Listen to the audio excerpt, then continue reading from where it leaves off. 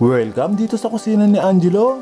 Ngayong episode, gagawa tayo ng isang recipe na tiyak masarap gawing panghimagas at pwede nyo pang pagkakitaan. Sa reseping ito ilalagay ko ang kabuang na gastos at mga sangkap na nagamit bago pa matapos ang video. Kaya kung bago ka lang sa channel ko, maaari mo i-click ang subscribe button at hintang bell nito para ma-update ka sa mga bago nating episode.